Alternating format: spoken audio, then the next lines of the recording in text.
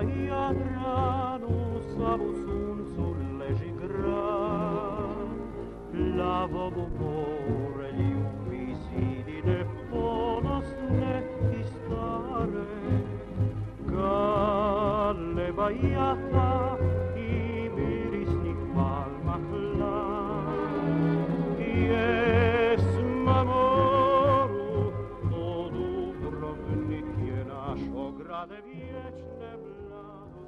Ovo je kultno mjesto za sve one koji se osjećaju Dubrovčanima i Dubrovčankama. Odmah da kažem, hrvatski književno ispravan izraz i Dubrovčanka i Dubrovkinja. A ovaj prethodni se nekako malo počeo da gubi.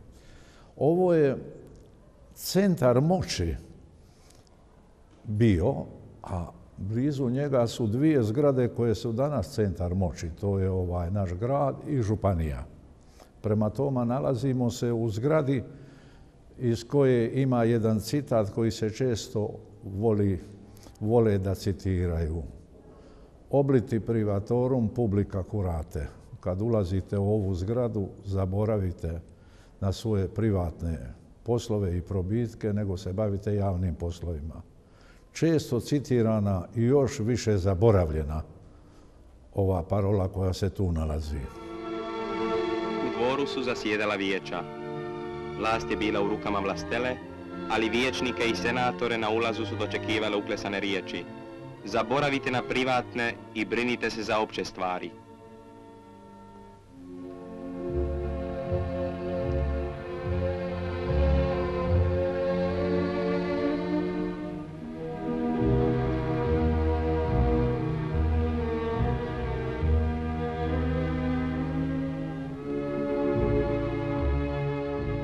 Knežev dvor ima više struko značenje, on je danas muzej.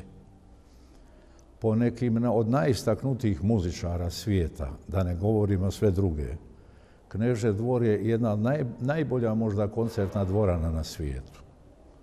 Zbog svoge akustičnosti, kako je to sve riješeno. Za mene u mome stručnom, naučnom sazrijevanju, Knežev dvor je naučna biblioteka u prizemlju i biblioteka Armato Bete, gdje smo mi koji su tada studirali i kasnije pravili svoje karijere, onda dolazili, čitali često puta u dosta hladnim prizemnim prostorijama. Ima jedna posebna stvar koja je vezana i za vas novinare, a i za mene familjarno. Pred par godina u ovoj svečanoj sali, ne ovoj nego drugoj, tu je došao izraelski ambasador u Republici Hrvatskoj da uruči diplomu pravednika među narodima mojoj supruzi i njenoj pokojnoj sestri. Za poznatog novinara Rudimira Rudi Rotera, koji je, na osnovu onoga što se danas zna, jedini novinar, ne u Hrvatskoj, nego u svijetu koji nosi titulu koja je to priznanje, koje dodjeluje Izraelska država za one hrabre ljude, među onima ovdje konkretno Hrvate, koji su rizikirali, rizikirali da ovaj stanu u odbranu jevreja, čuvajući jednu jevrejsku porodicu u njegovom rodnom mjestu Potomlju na Perešcu. Ograde vječne mladosti i morske pjene radosti, sad pjevamo tebi mi, daj pjevaj s nama ti. Ima i drugih stvari, ja sam tu često sjedao i na ovim skalinima i drugom prateći koncerte i drugo, pa i danas malo manje nego prije, ali ima, Knežev dvor ima simbolično značenje. Kako se nalazimo u oči izbora i ove velike bitke za mjesto gradonačelnika, mene uvijek se osira to malo na onu poznatu bosansku sjaši kurta da uzjaše murta ta borba za vlast. Ja mislim, pošto sam na koncu konca i kvalificiran za tu struku, da u nas gradonačelnik, bez obzira ko je to, bio, ima više vlasti nego što je imao knez Dubrovačke republike, što je malo nonsens. A kad se govori o tome ko se brine o gradu, gubi se iz vida da ovom malom državom, republikom, ali vrlo uticajnom Dubrovačkom republikom, ne vlada knez, nego vlada to je jedan sistem kolektivnog rukovođenja. Veliko vijeće, koje čine svi plemići, punoljetni, zatim konsilijum rogatorum ili vijeće umoljenih, senat, 40-50 ljudi i malo vijeće. Prema tome, taj koncentracija pameti je omogućila Dubrovačkoj republici vlastite pameti da se toliko dugo godina održi među svjetskim vihorovima. Vi pravite emisije, lansirate masu ideja, tisak masu ideja. Ja imam osjećaj da o tome niko ne vodi računa. Tu ima toliko pametnih ljudi koji govore, daju prijedloge. Mislim da vlast bi morala jako ozbiljno da uzimlje takve neko da se brine, da to selekcionira i da uključuje jedan potencijal.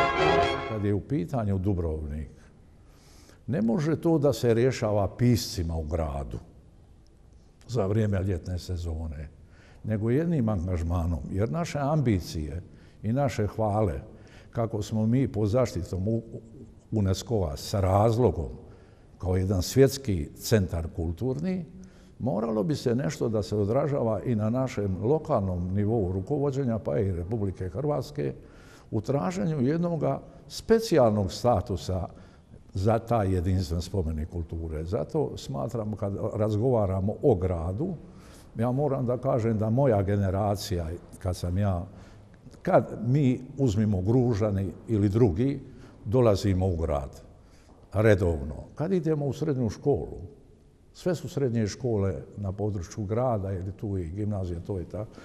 srednja škola u to doba počinje malo e, ranije nego danas. Molim. Vaša srednja škola počinje kad vi imate 10 ili 12 godina.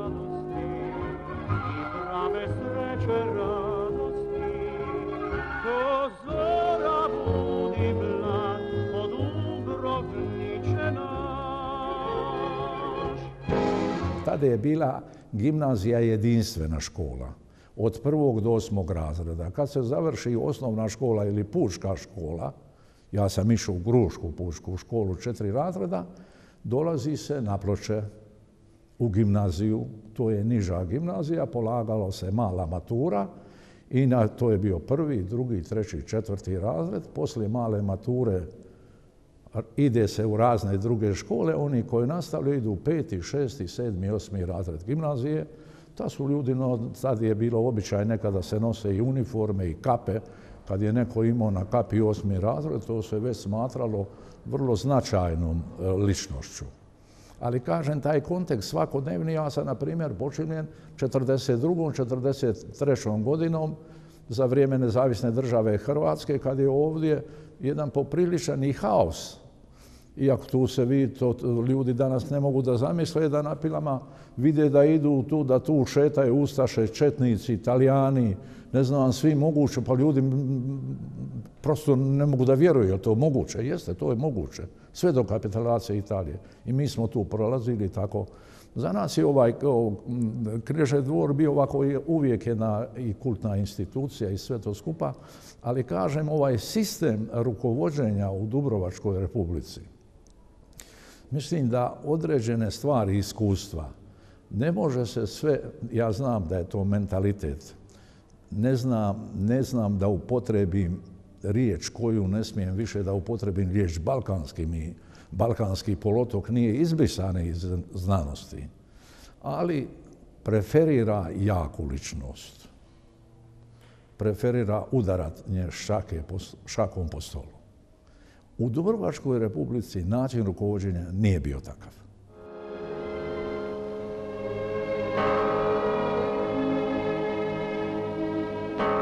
Su u gradskom tornju zelenci udarcima bata označavali vrijeme koje je proticalo, grad je rastao sve više. Njegovo se političko središte nalazilo u Kneževu dvoru. I njega su u drugoj polovini s 15. stoljeća obnovili domaći kamenari. Tri decenije nakon početka renesanse u Toskani, oni su u prizemnom trijemu podigli snažne lukove i kapitele tog novog stila.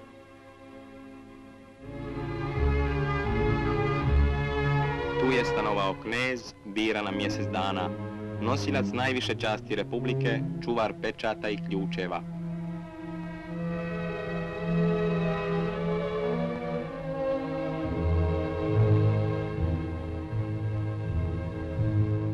bila jedno kolektivno uskorištenje svih intelektualnih kapaciteta, a ti su se pilemići i u svojim kućama i svema privatno pripremali za poslove za uvoženje države. Nije ih niko stipendirao. Ili ako su išli neki drugi, mislim da je taj aspekt vrlo malo, malo prisutan i u razgovorima. Ljudi govore o regionalizmu. Ja sam studirao ulogu regionalizma u izgradnji modernih nacija. Imaju zemlje koje su priznale čak ustavno određene regije kao, na primjer, historijske regije, da ne idemo dalje, susjedna Italija ima takvih pet, među kojima je i Sicilija. Nije to narušavanje nacije italijanske, ali neko određeno priznanje, jer Dubrovnik neprekidno traži taj status kao i ljetne igre. Pitanje statusa. E sad, to se ne može linarno postaviti, jer odmah je tu Split, Zadar, Rijeka, ne zna se ko je značajniji. Međutim, Dubrovačka republika i vrijeme ono koje smo mi, kako smo učili i kako sam ja kasnije saznao, je nešto zaista vrlo, vrlo specifično.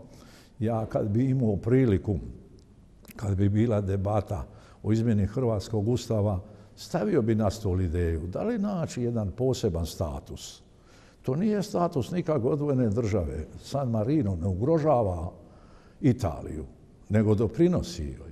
I tako, nije to nikakvo razbijanje.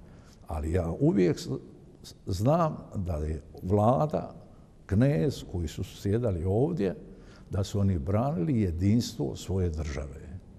I jedinstvo koje ide sve od prevlake pa sve do neuma. Eno, eno, vrata se otvaraju. Pada ponad ulazu, ulazu, najprije frančezi, sve zlato, pene, bandijere, ljepota ljudi, svi žedni slave, svi gladni žena, pa eto drugi, o sve gori, sve grđi, jadni, siromašni, divlji. I svi hoće da prođu kroz ta vrata.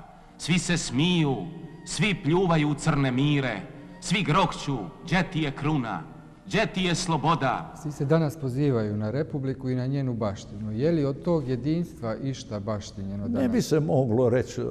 To je uvijek zavisli od kojeg razdoblja. Kad pada Republika, ili kad dolazi Austrija, Austrija dolazi, donosi puno pametnog do ovdje, modernu državu, zakonodavstvo, propise, sve te propise i tako dalje. Ali ovo, znate, kad pripadnost Dubrovačkoj republike. Mi među nama, na primjer, kažemo Konavljeni nije Dubrovčani, nego šta je? Mliječanin nije Dubrovčan, nego šta je? Ja hoću, ja ću malo, kad budemo govorili možda i osvrnu se na to, ali možda i sad.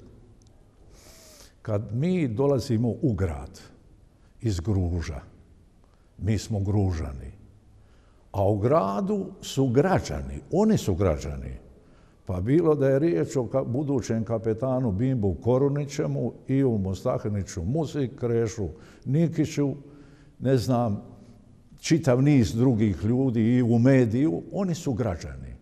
A kad dolazi Konavljanin iz Šilipa, budući divan, agronom pokojni Mato Novaković, on je Konavljanin. Prema tome, pojam građanstva za nas u užem smislu su samo oni koji stanuju ovdje u gradu A inače, mi, svi drugi podanici Dubrovačke republike, oni su građani Dubrovačke republike. Prema tome i Pelješćani, i Mlečani, i Kalamotezi, i ovi, ne znam kako, Šipanci. Lastovci, jesi, i uzmemo jedan Mladene Frka i Željko Perčin sa Lopuda. Oni su Lopuđani, ali oni su Dubrovčani. Mislim da se to malo, da se to dosta gubilo iz vida kada čovjek sluša ova prepiranje oko Libertasa, financiranje Libertasa, ko će plati što, ko će, kako će se platiti, tako da se s jedne strane hvale o tom bonosti su na slavnu Dubrovačku republiku, u konkretnom slučaju se ne vode računi da smo mi jedan jedinstven geopolitički teritorij. Korčula je nešto bilo van toga teritorija, ona pripada županiji normalno to. Već dolina Neretve je nešto sasvim drugo bilo. Ali mislim da o tim stvarima bi se moralo više i drugo, ja stalno insistiram na, insistiram na korištenju od strane zvaničnih, legalno izabranih organa vlasti. Oni vode i oni imaju legitimitet da vode. Ulica ne može voditi državu. Oni vode državu, oni da morali bi malo više da koriste intelektualni potencijal kako vlastitih građana, tako i onih drugih ljudi koji su veliki prijatelji Dubrovnika. A njih nije malo? E, nije ih malo. Nije ih malo u svijetu. Još smo vlast. Ja, ti, mi, mi kraljevi, mi gospodari. Gdje se prikažemo, tu su i carevi za nama. I naše more, i naše tvrđe, i naše crkve, i dvor, sve još tu, živo, živo. Pa da sve to nestane. Pa da nam djeca zaboravu i slamen slobode i pođu iskat po svijetu da nam nađu ime, prava, vlast, a ne znadu da je ovo država ljudi. Država, a sve okolo raja, pusta raja. Pošto je bila jedinstvena teritorija i jedinstveno organizirano sa svojim organima vlasti, tako se jedino mogla očuvati.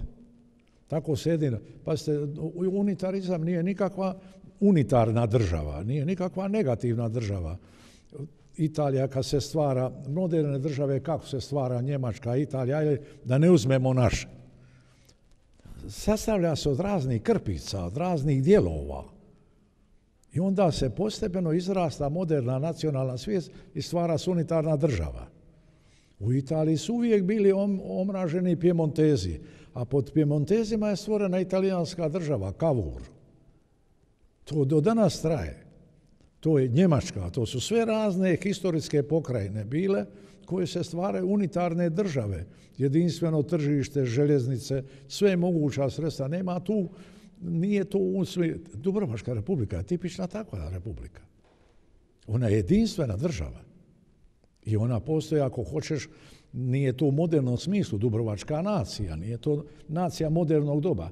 Svi su ti razni Dubrovčanština, regionalizmi se kasnije pretakali jedni u hrvatsku naciju, drugi u srpsku, treći u talijansku, četvrti u njemačku naciju, peti u francusku i tako dalje i tako dalje.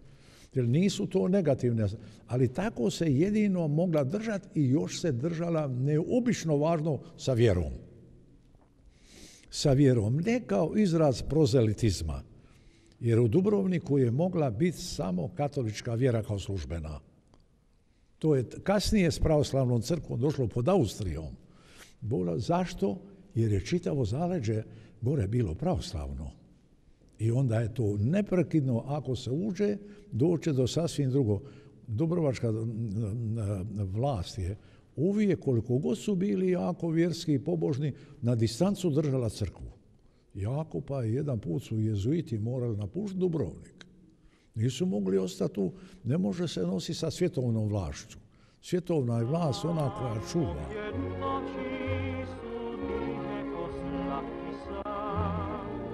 Tamo gdje sunce gasi rumeni žar u plavom Tamo gdje mjeseče prostire se srebren san Svaka ruža za prvu ljubav ograde vječne mladosti i morske pjene radosti. Sad pjevajmo tebi mi, Daj pjevaj s nama ti